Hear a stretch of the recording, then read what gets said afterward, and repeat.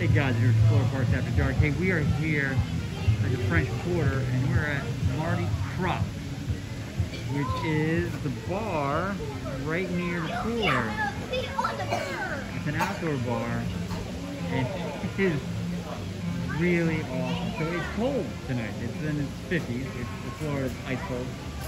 But it's a great little bar area. Good vibe, good energy. Standard drinks, got TVs. They have the heating lamps for how cold it is out there.